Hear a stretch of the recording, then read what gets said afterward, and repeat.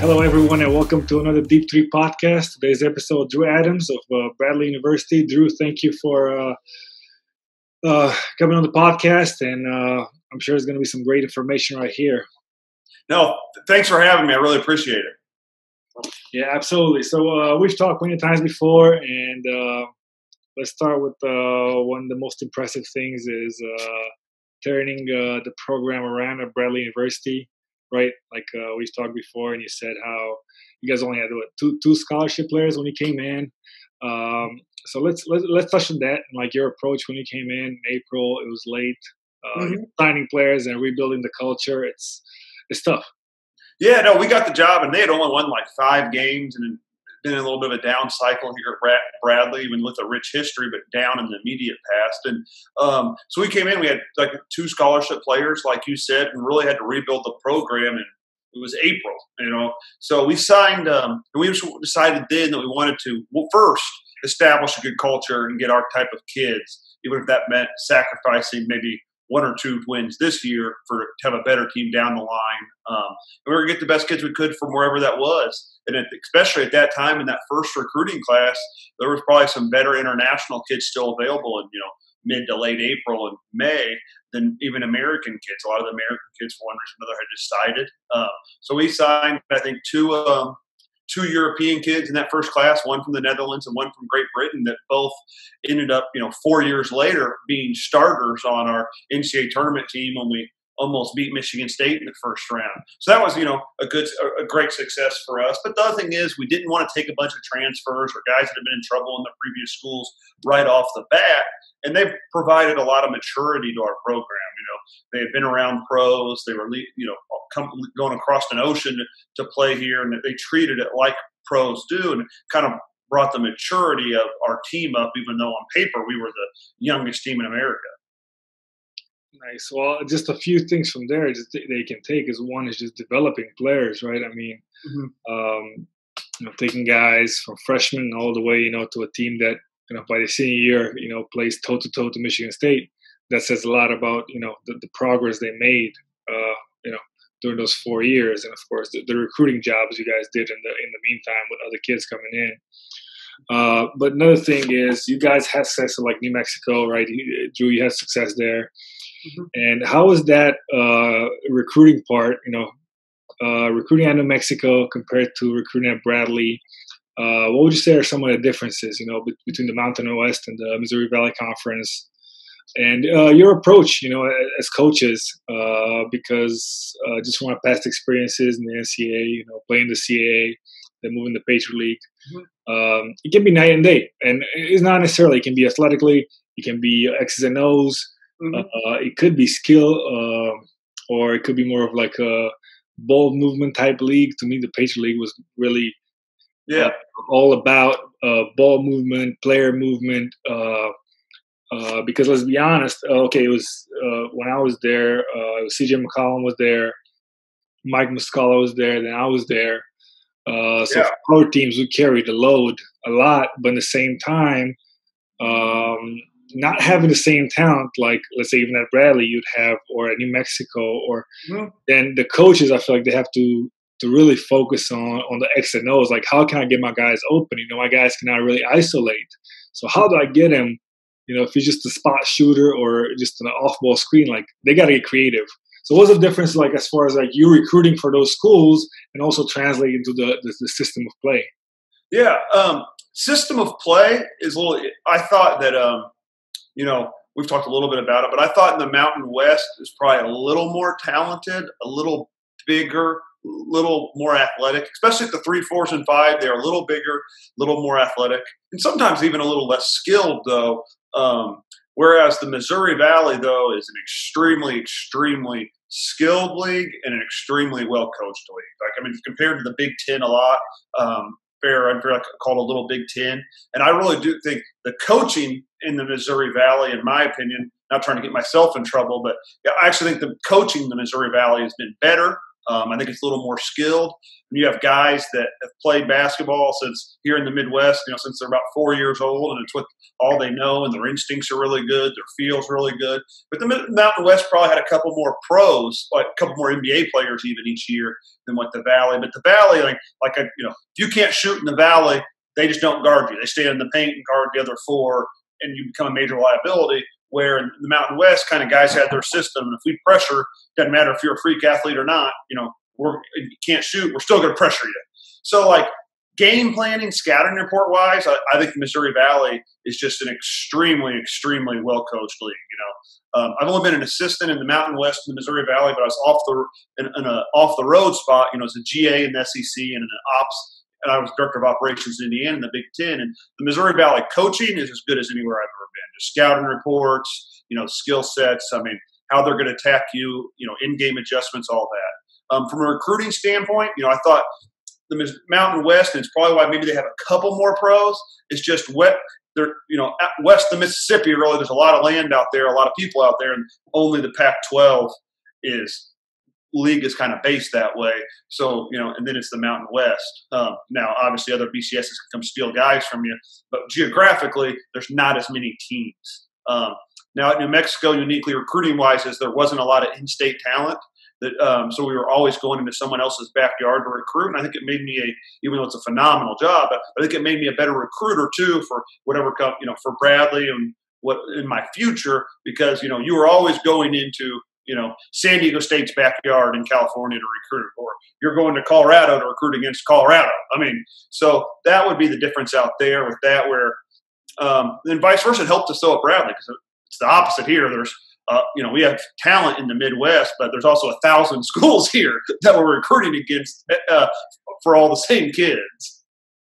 Yeah, absolutely. And I mean, it's just even the East Coast when I was in DC, it was just like, mm-hmm. Like some like ten schools just like in that DC area. So for sure, crazy competition uh, for recruiting, you know, and then uh, just to be seen live is nice, you know, all the time. Mm-hmm. I can imagine to, to transition to New Mexico, but how would you say travel wise, or like what what is it like to travel as an assistant uh, for recruiting trips? I think people uh, especially Europeans. I don't think they understand how grueling it is because I know I've had uh, I have a lot of friends that were assistant coaches, and uh, I just remember even during the season, sometimes they would leave at 6 a.m. try to make practice by 3 p.m. If not, they would be you know the very next day on like the same 6 a.m. flight. It was like more like a 12-hour trip, based like recruiting trip during the season and during the summer when it's just booked. Sometimes, of course, this is a crazy year, but usually you know you guys are on the road so much yeah, no, and especially when you're, I mean, when we were rebuilding the program, I mean, we were on the road constantly. We had to be, and you know, you're blessed to be able to see lots of different parts of the country and world. But you know, it's a lot, a lot of 6 a.m. flights. It's a lot of um, you know late night flights, like you said. I mean, there's many times you're flying into a city in the mor- in the morning and maybe taking the last flight out of that city that night. So I mean, it's it can be um, a little bit grueling. Uh, not that you're not blessed to be able to do that, but yeah, I mean, it's you know, and during the summer, I mean, you're in the the the gyms for 14 straight hours, sitting in the bleachers, getting into a, hot, you know, getting into your car, driving to the next gym. But I mean, yeah, I mean, you're on the road a lot. I mean, like, you know, I'm blessed to have a great wife and stuff because, you know, during the it's recruiting season, you know, she sees me, you know, two days a week. Other than that, you know, she's pretty much on her on her own. But you know, it is a uh, it's a very unique experience. I don't, you know, a lot of people see the limelight of it, but it's a lot, a lot of late nights, it's a lot of early mornings. You're, you know, you're out there by yourself a lot too. I mean, it's a lot of entertaining, that type of thing. Yeah, absolutely. I think for assistant coaches, is actually one that's to me is one of the hardest jobs. Um, just because on top of you know you recruit, you have to look at your opponents, you have to take care of your own team, uh, you know, development, everything else that goes along with it. So it's, know, it's not just uh, you know, once you get overseas, the pro side, you know, it's player development, mm-hmm. you know. X and O's scouting, of course, and uh, but to me, the college coaching is is really, really, really tough.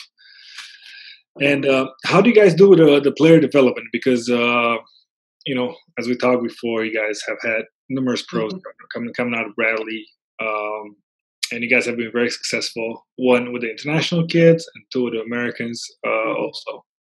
No, I think our head coach. It's one of the things that he really prides himself on. He does a great job. You know, Brian Wardle. Uh, he was a very good player himself at Marquette, but and he's out there as much as any one of us assistants during you know during the year and in practice. But kind of how we do it is in the off season, we'll take um, we'll get with the player and say, hey, we're going to meet whatever coach does his position. You know, Coach Wardle, that coach, and him are going to meet. Hey, bring three things you think you need to get better at. You know, then if it was one of my guy like position guys, me and Coach Wardle would meet and have three things. And obviously, we're going to whatever we think's best for that guy, kid, we're going to do. But we definitely always try to integrate at least one thing, you know, that he thinks he needs to get better at. Because also when they're invested in it, and it's what they want, you know, they might work a little harder at it. But and we also what I think is great, and we haven't necessarily done in previous spots, is we also give them one thing they have to get better off the floor. Maybe it's you need to spend more time with your teammates. You need to eat better. You know you need to communicate better. You know whatever it may be. Um, you need to be a better vocal leader. You need to lead by example. So we try to give them one thing, maybe non-basketball wise or skill set wise, and then three things skill set wise we're going to work on. And now we're always going to do, you know, catch and shoot threes or whatever. It's one of the most important things I think we believe in the game. It's just be able, you know, so we're always going to do mass volume shots and stuff like that. But skill set will really break it down. And then once the season uh, season comes, we don't stop doing individual development. We're going to do at least 30 minutes and 20 to 30 minutes in practice every day of individual development. Um, we're going to grab the, one of the coaches is probably going to grab them before or after practice to try to get another, you know, 20 to 30 minutes. And then we really watch a lot of film during season one on one with guys. Yeah, we always do the team stuff for scouting reports and our games, stuff like that. We also get all, you know, maybe it's a point guard. We're going to show him all his assists, all his turnovers, all his shots regularly and go over decision making and stuff like that. So, you know, you get, you know, a 20 minute film session, 20, 30 minutes before or after practice, then during practice. So, I mean, even all season long, we're getting at least, you know, an hour, hour and 15 of individual skill based stuff. And we're big believers that, you know, obviously the better we can get our guys, the better our team's going to be. So when we don't kill them in practice, you know, we time we're in conference, we're probably only outside of the skill stuff, we might only go for an hour and then have about 30 minutes of that individual stuff. Um, so they are fresh. Uh, like I said, coach played. He knows at the end of the year they got to be fresh. And I think we played our best basketball at the end of the year, and it's why we've won the last two conference championships. Our guys have had their legs, they've, but yet they've gotten a lot better, and we're playing our best basketball then. That's awesome. And one thing I used to do, for example, uh, a little bit, I would say before my, my knee surgery, that was like, what, three years ago, um, I used to kind of just get the synergy uh, PDF files, you know, of, of my last season and kind of just go over it, and it shows you right there what you're doing. You know, I think at some point, uh, one of my EuroLeague years, I think my it was my fifth year as a pro. I drove like 95% of the time I was driving left. it's just some stuff that you don't realize. Yeah, for sure. Do you guys use that too, as far as like some kind of just, hey, um, you know, so and so, you you know, you driving left, like 90% of the time we really got to work on you know you driving right or whatever it is uh, do you guys use that kind of stuff too or just kind of like you know a coaches meeting is like hey we need our point guard to do this this this better no we definitely go over um, you know we had a actually our uh, the kid from um, England that ended up having you know being a three or four year starter for us. I mean, he was a heavy, heavy, you know, right hand right hand driver, right hand. And we really broke that down on synergy for him and showed it to him on film, and then you know, and then broke down the numbers for him. And he became a very you know a cape guy that was capable of going really well downhill both ways. So we definitely use synergy a lot. We look at the numbers like. We also look at what they're good, at, really good or bad at. Like it's got, you know, if you've seen it, it's got spot ups or pick and roll, handoffs, like you know, all that. So we go over what you're good at, what you're bad at, and we'll break that down even during the year and just try to just move the needle a little bit, you know, just improve it a little bit, make some small adjustments during the year to really help those guys out, and then really dive in and focus on it in the off season if it's a thing like you said where they're just not finishing going left enough. Awesome. And I know you told me that uh, you guys have you guys on campus now, you know, doing individual stuff and mm-hmm. just awesome. It's good to hear.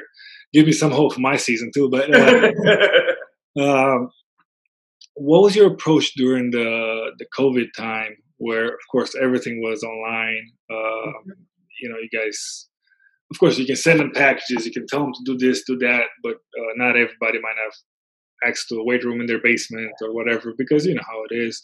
Uh, you know, I've been through it too, um, where you don't have access to it, or you don't have access to a hoop, or they live in the Midwest and it was cold up until like May. So, yeah. you know, yeah. And what, what, was your approach as, as coaching staff uh, during that time? Well, we tried to make sure that they just had, you know, they had workout sheets for basketball and they had, and I think our strength coach did a good job of giving them stuff, both they, of finding out what each kid, I mean, he might have given 13 different workouts during that time because he was giving, he was finding out what they had access to and then giving them stuff. You know, some of our guys may just had their room at their house. You know what I mean? And so he gave them body weight stuff. Then some of the guys had some free weights. You know, he gave them a little more. Um, so he kind of, you know, he kind of tailored some weight workouts just to, you know, it's crazy to say. It was such a weird time. If nothing else, to at least maintain where they were. I don't know. You know, probably be hard to make. You know, so a lot of them did a good job of maintaining where they were and then you know they had some basketball workouts. But that's why we thought it was also so. A lot of our guys didn't have access to gyms, so that's why we thought it was so. We brought them back like the second week in June, even though we weren't allowed to work with them yet by the because of the NCAA rules. They at least had an hour they could get into the gym. They had an hour they could get into our weight room. And I, you know, heck, because here in the states they were going down around even parks and taking the rims down because they, you know, too big too big of groups were playing at the parks. Um, so, but I thought, you know, and we really thought is we're you know that even for their mental well-being that was really important they needed some sort of escape during you know th- those crazy times to some normalcy and you know to exercise their bodies and stuff so that's why we thought it was really great to get them back on campus even if we couldn't work on them at least they could go into that gym with their teammates for an hour an hour and a half at least they could get into the weight room and lift some weights and exercise and that and we knew they were you know we have guys from all different backgrounds but we, we knew they were at least getting fed and that type of things here on campus. Got you. Absolutely. No, it totally makes sense. So uh, once they got back on campus, you said they were allowed to do what, one hour work basically individually, then with the roommate, and then yeah. one hour, and then just the dining hall, right? I mean, that was basically it, huh? Yeah, they had about them and their roommate had about an hour in the weight room, and their the roommate had about an hour in um, on the floor to work out. With you know, we have the guns and different things like that, that out there they can work. And then um, we were able, once they got back and they were in class in June, we were actually able to give them scholarship money too, so they could also um, pay, you know, buy groceries, buy food, that type of thing. Gotcha. Yeah, it's a very complicated time because I still know, you know, like states that are not open completely, mm-hmm. or like, so I really wonder how it's going to affect, you know, next season's uh, college basketball because like I said, your guys on campus in June. I think uh, I was talking to Mount St. Mary's uh, head coach and assistant coaches uh, earlier this month, and you know they're like, uh, I think they're trying to get them back on July sixth. So every school is just going to be different. I think Michigan. Uh, uh, Michigan's kids are not allowed on campus yet, so it's just mm-hmm. I wonder how it's going to affect it because you know gyms are not open yet; they're not allowed to be open, at least in Michigan. Uh, I know Indiana's different, for example, and like they even play AU tournaments. So it just seems like it's different countries that are like within the U.S. right now. I feel like every sure. different country. yeah, no, it's wild. I mean, some of the states are full blown having tournaments, and then some of the states, like you said, Michigan or California, no, they're not allowed to have anything open. You know what I mean? So yeah. it's very different right now, and you know, all I can do is hope we I hope we can. T- I think we got a good group this year. I hope we everyone's it's safe to tip here in November, but I don't think anybody really. You know, you hear something different every day, and um, you know, we get different rules from the NCAA every day on what we're allowed to do and not do. Really. No, absolutely. I'm sure you guys were disappointed since you were basically in the NCAA tournament this year, and mm-hmm. uh, you're getting ready for for another March Madness, and uh, it's uh, not an easy time to be to be a, a college coach. I tell you that. Uh, we are talking about recruiting earlier, but now it's even hard. Like, let alone just trying to get your kids better. You know, trying to trying to recruit now. I think that's uh, um, really really big thing. Um, what was your approach to to recruiting during this time, the last three four months? Well, luck. I mean, we were in a little bit of a fortunate spot. We only have um, two scholarships in 2020. Uh, couple scholarships 2021, and I can't talk about individuals in that just because of the rules. Okay. But in but we were watching tape, a lot of tape on guys, making a lot of phone calls, a lot of zooms. And what I can talk about is we still had two 2020 um, uh, scholarships open right when this started. But fortunately, there were two kids we were really far down the line, uh, line in with uh, Sean East and Jason Kent. I mean, two kids here in the states, one from Indiana and one from Chicago, both Midwest kids. So we were able to we got them wrapped up. You know, luckily within two three weeks, you know, they were pretty sure they wanted to come here, and they made their decisions. Um, right when this started. I mean, there were some schools that I would not have wanted it to be year one when we got here. There was two scholarships during this this time, and everything would have been had to be done on film and Zoom. And I just think it's too easy. Um, I think the in person interactions is just so important, at least to have at some point in the thing. Not just for us, but for the student athletes too. And just all that was pretty much taken away once this happened. Yeah, absolutely. Uh, talking about you know when you mentioned that you didn't you didn't wish to be this year one. Um, what do you do with your foreign kids right now? Well, our, our, uh, our, we have a kid from the Netherlands, Rick Mast, who stayed here in this, country. Um, we have a kid from uh, Africa as well who stayed here the whole time. You know, they didn't want to risk going uh, going home, which I think obviously, as you see, everything's played out, probably really smart. Um, they stayed here and just worked. The NCAA did grant us some flexibility to help take care of them a little bit, even when uh, all this was going on because they couldn't leave. Um, we have a Canadian kid that you know that border's a little different, so he went home for about a month and came back for summer school. We also have a guard from Finland that had a great, great freshman year this past year. Um, and uh, you know, me and you have joked about him. I mean, he missed. I think you know he's second leading scorer in the European Championships uh, coming in. He's a great player. Comes in and misses like his first 20, 22 threes when he got here in front of about 6,000 people. But I mean, talk about mental toughness, you know, and credit to our head coach too. I mean, he was in the gym with them, rebounding for him, shooting with them, you know, played through it. And, you know, he ended up shooting 40 something percent from three. You could take away those first 20 shots. He's probably in the 50s and had a great season for us, helped us win the conference tournament. Um, but he went back in Finland to finish up his military service. So he's actually back home. Uh, so hopefully, you know, that we're allowed to, you know, he's allowed to come back here sometime in uh, August. Yeah, it's such a delicate time. Um, I know so many kids overseas. I'm like, oh, I don't know what to do. Uh, especially, I would I wouldn't want to be a senior in high school right now. You know, trying to no. come with my senior high school, or am I going to stay there, or um, you know, just what's going to happen. Um, as of now, uh, what are your recruiting plans for like this fall? Since some states are different, or you just kind of go based week to week, month to month? Is that type of situation? Right now, it's really just month to month. I have, you know, um, right. We're dead. They've canceled all recruiting through August. Uh, right now, it's it could open up in September. A lot of people think it's even going to get shut down through September. Um, as soon as it's open, you know, there's some places we definitely already know that we want to go. Like, hey, as soon as mid September, October, November, whenever it may be, we're going to go, you know, go to these places and see these kids.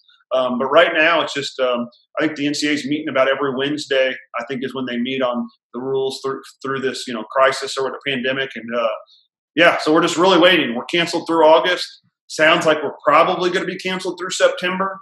Um, but then hopefully we can, you know, get out after that. Because like you said, if you're a senior and in that 2021 class, I mean, you had the end of your high school season taken, you know, taken away last year. You had all, you had either AAU or the European Championships or whatever you may play in if you're overseas taken, you know, taken away. So they really haven't had um, maybe the opportunities that every other class before them has had. So hopefully you know, we can do, you know, the NCAA can do some things to help those uh, student athletes.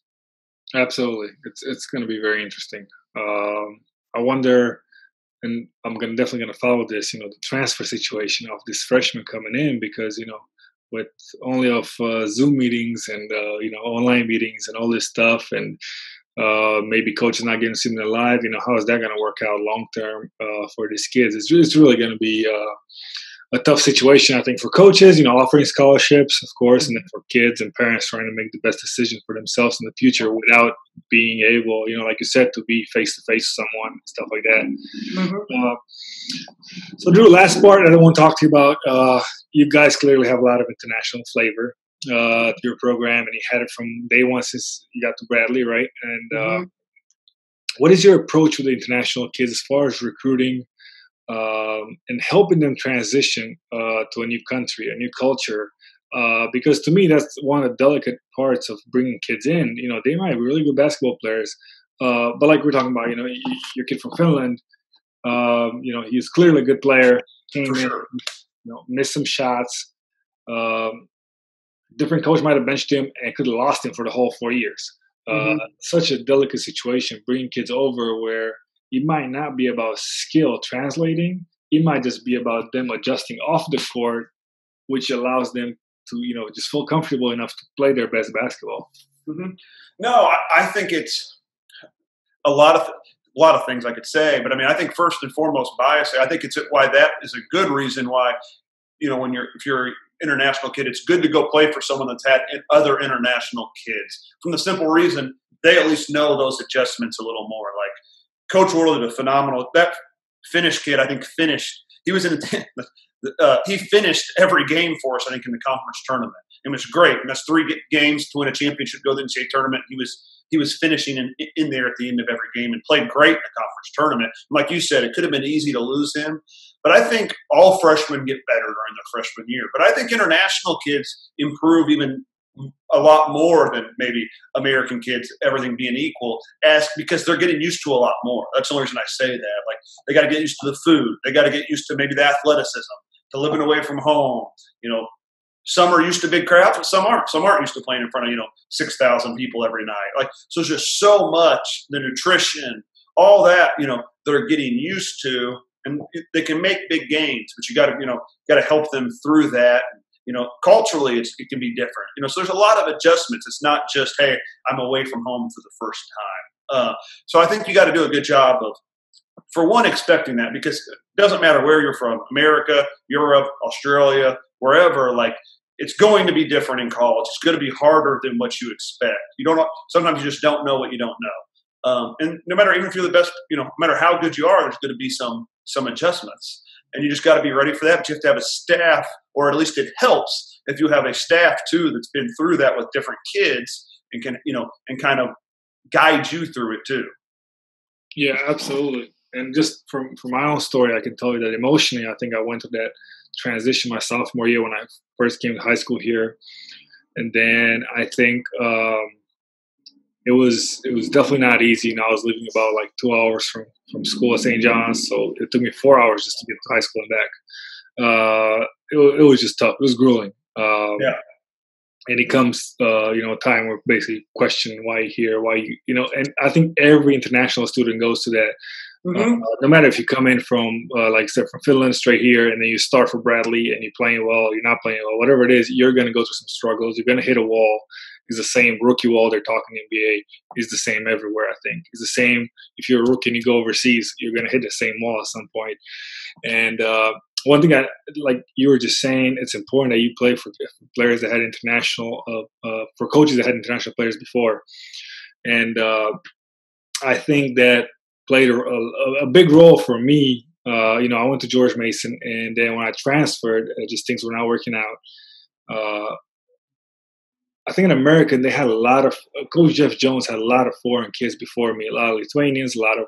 So as soon as I got on campus, you know, like I had the option to go to NC State, go to ACC, you know, transfer. Like I had the option to go to Lehigh, Prep CJ McCollum. I had the option to go to Boston, Denver. It was, it was a lot of options on the table. And like once I got to American, though, it just felt like there was some kind of connection because he knew, he kind of understood the, the emotional side of things too for a foreign kid being here and like what they need um, you know, to kind of just be helped and be pushed and how to be pushed and all this stuff. And um, because it's a huge cultural shock. So like, if, if, if you guys haven't dealt with a with a foreign kid before, you kind of got to know like where to grab them. You know, like uh, culturally, uh, mm-hmm. grab their attention, how to grab their, uh, you know, how to how to make them buy in, uh, which is something honestly that I felt like uh, for me at, at, Mason, like I bought in the, the, first year, and then the second one I kind of felt lost, and like I felt like no one kind of grabbed me and mm-hmm. like, buy into a, this new team to what happened, like what's happening, and kind of explain you like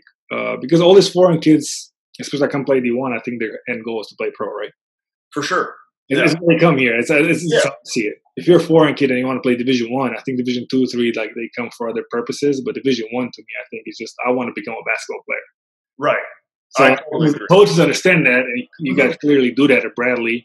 Mm-hmm. Uh, it's it's huge. It's it's uh, it's it's part of why I feel like I was lost at Mason because like oh like guys, I'm not playing. I'm playing like 80 minutes a game as a mm-hmm. sophomore, and I'm really trying to play pro. Like there was not a how can I get there. It was right. Like, oh, right now I'm kind of figuring out. I'm like, well, I can't. I don't have the time. They have to see the. You have to be able to see a path to your dreams or your pro career like you know, not saying you're never going to struggle, but you got to like show you got to show the student athlete that there, hey, there's a path to your dream, and we we see your path. We're going to help you. You know, we're going to help you get there and recognize it.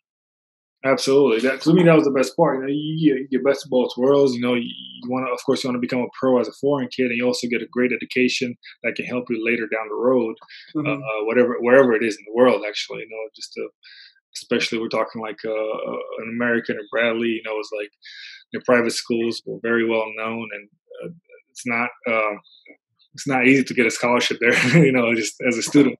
Right. Sure. Yeah. No. No doubt. I mean, we we try to t- you know really take pride in that and make those guys comfortable. And you know, I think it's Peoria is a very diverse community because actually Caterpillar, which is a Fortune 500 here, is in town too. Bradley's a diverse school, so it's been a really a you know all around a you know a great fit for our city, our school, you know our our, our, our staff. Yeah, absolutely and I look forward. You know, I said I, I want to visit. I know when. I think. Yeah, we can't wait. Absolutely, next summer. You know, now like about three weeks left, but uh, next summer I'll, I'll, certainly be there. Uh, definitely want to see the campus and everything else. Uh, I had a few friends that went to Bradley. Uh, oh, that's great. Way uh, way ahead of time. Uh, but the last thing I want to talk to you again, uh, we we've mentioned quite a few times this this episode how you guys turn pro. Mm-hmm. And uh, I know you guys have a certain system defensively where you want to switch one to 4 mm-hmm. uh, you know, you have a certain type of big. And clearly that affects your recruiting, right? I mean, mm-hmm.